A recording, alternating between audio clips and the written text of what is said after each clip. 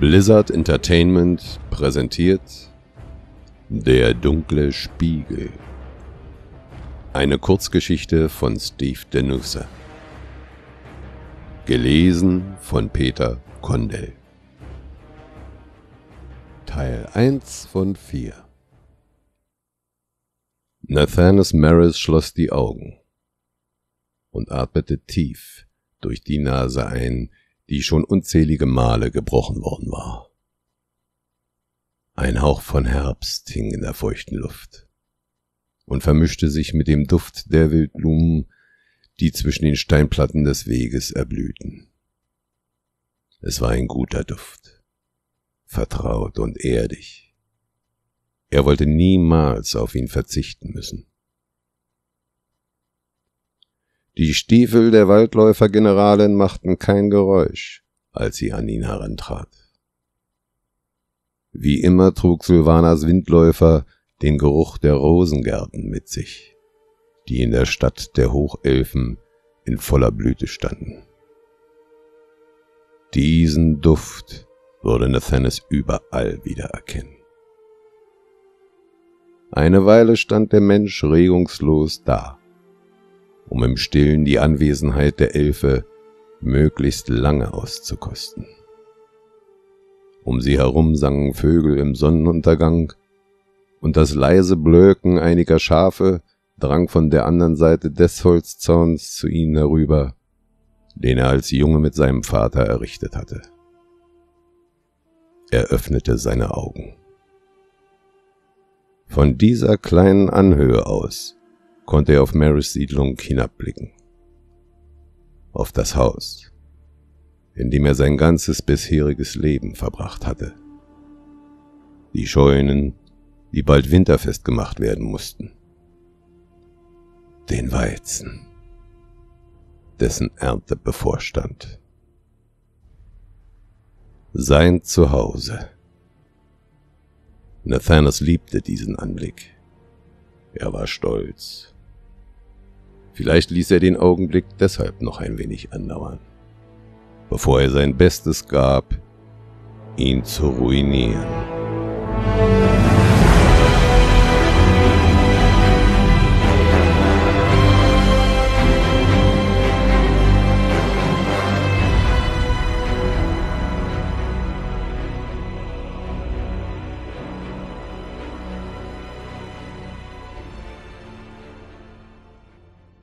Du solltest nicht hier sein, knurrte er. Begrüßt man so seine Kommandantin? gab Silvanas zurück und wandte sich ihm zu. Obwohl ein Lächeln ihre Lippen umspielte, lag etwas Bestimmendes in ihrem Blick, das Autorität ausstrahlte. Sie trug eine Rüstung aus blau gefärbtem Leder und einen kunstvoll verzierten Bogen auf dem Rücken. Mit seiner verschlissenen Arbeitskleidung und dem zerzausten Bart kam er sich neben ihr wie ein Landstreicher vor. Er schüttelte den Kopf. Du weißt genau, was ich meine, Silvanas. Seit du mich zum Waldläuferlord ernannt hast, macht sich Unmut unter den Weltenwanderern breit. Diese Besuche sind nicht unbemerkt geblieben. Und deine ach so noblen Waldläufer Tratschen fast noch schlimmer als Waschweiber. Silvanas streifte ihre tiefblaue Kapuze zurück, und das lange blassgoldene Haar ergoss sich über ihre Schultern. Ich wusste ja gar nicht, dass es dich interessiert, was andere von dir denken. Er hörte den feinen Hohn in ihren scheinbar mitfühlenden Worten, der wohl seine Entschlossenheit auf die Probe stellen sollte. Seine Zähne knirschten vor Anspannung. Es ärgerte ihn, dass Sylvanas seine schroffe Art bereits so vertraut war, dass sie völlig unbeeindruckt davon blieb. Mir ist es gleich, was man über mich erzählt. Du aber bist die Ranführerin, und du kannst es dir nicht erlauben, ihren Respekt zu verlieren. Sylvanas strich Nathanes eine Strähne seines rostbraunen Haars aus dem Gesicht. Als Waldläufergeneralin ist es meine Pflicht, die Berichte meiner Späher im Feld einzuholen. Und da du dich lieber in der Wildnis Lordorans zurückziehst, anstatt in Kelferlas deinen Dienst zu verrichten, bin ich dazu gezwungen, hin und wieder nach dir zu sehen. Er zuckte die Schultern. Es ist besser, wenn ich Abstand wahre. Mir fehlt die Geduld für die Machtspielchen in deiner Stadt. Hier kann ich atmen. Ich lege Wert auf die einfachen Dinge im Leben. Und die würde ich im Schatten eurer uralten Türme vergeblich suchen. Lothamar, zufolge versteckst du dich hier nur vor Vergleichen mit elfischen Bogenschützen, sagte sie mit hochgezogener Augenbraue. Lothamar Theron ist ein Narr. Das Gewand eines Politikers stünde ihm besser als das eines Waldläufers. Mit seinen Schießkünsten könnte ich es jederzeit aufnehmen. Pfeil um Pfeil.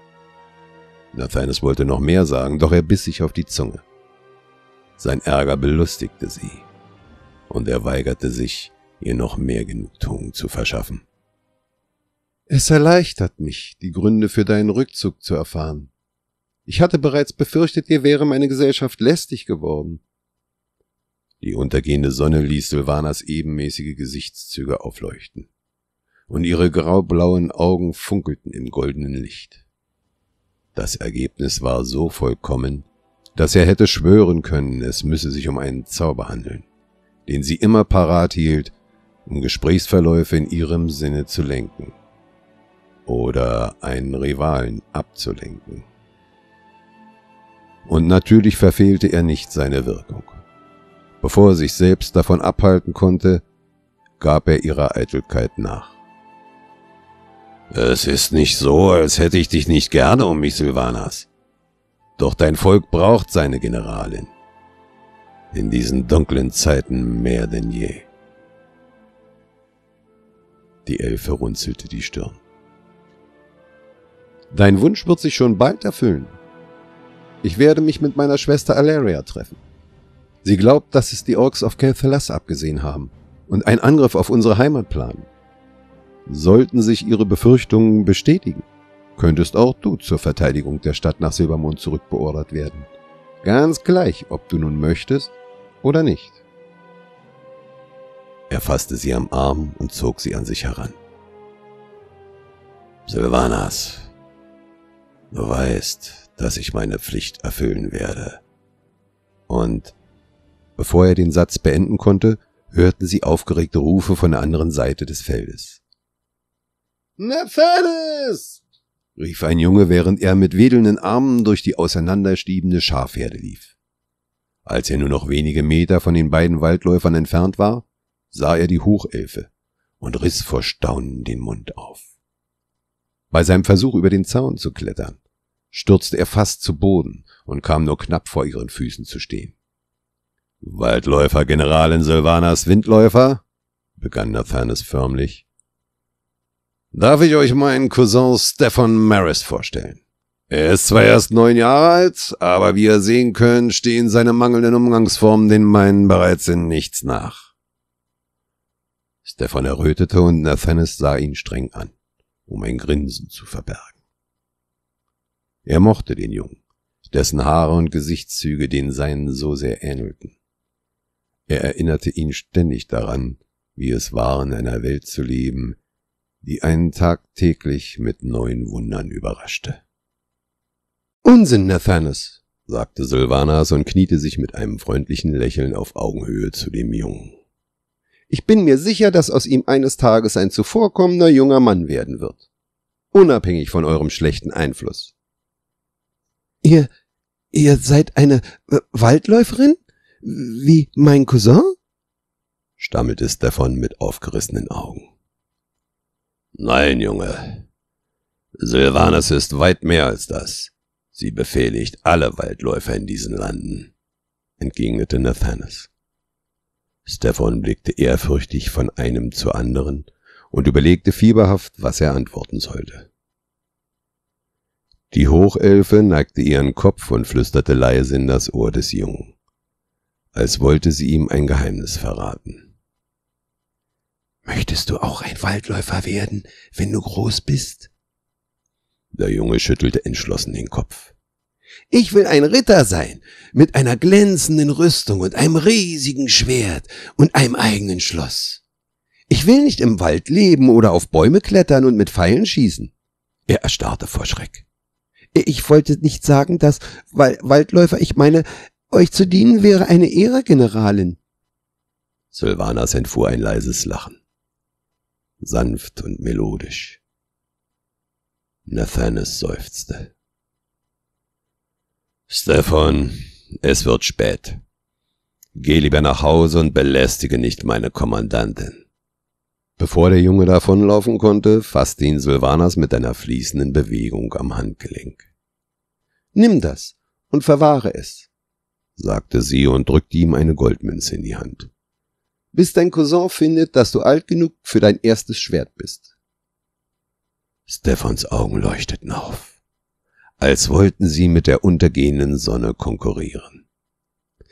Danke, vielen Dank, er sprang auf, kletterte über den Zaun und rannte zurück über die Wiese.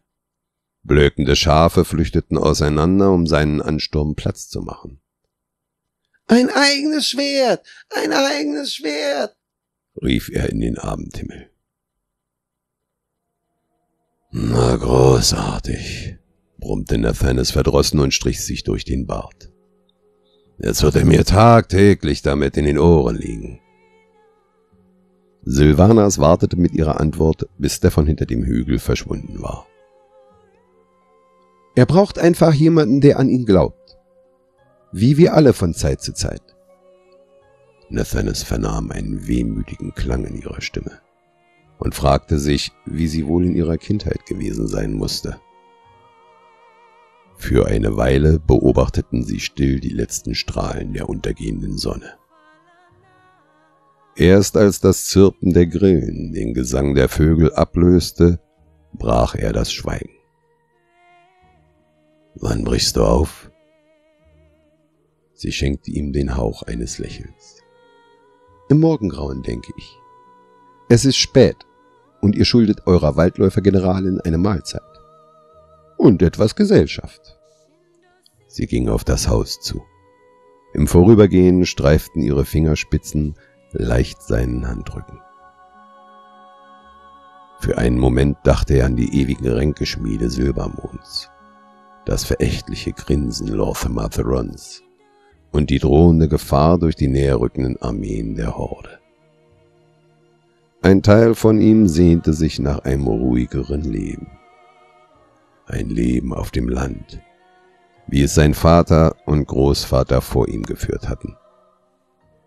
Er könnte den Weltenwanderern den Rücken kehren und hier in der Siedlung in Frieden leben. Zu Hause sein. Doch dafür würde er etwas aufgeben müssen, was sehr viel kostbarer war als sein Rang bei den Weltenwanderern. Als er seine Schritte entlang des ausgetretenen Pfads in Richtung des Hauses lenkte, wusste er, dass er seine Entscheidung getroffen hatte. Zum Teufel mit der Politik. Zum Teufel mit der ganzen Welt. Er hatte Sylvanas ein Versprechen gegeben. Und um nichts in der Welt würde er von ihrer Seite weichen.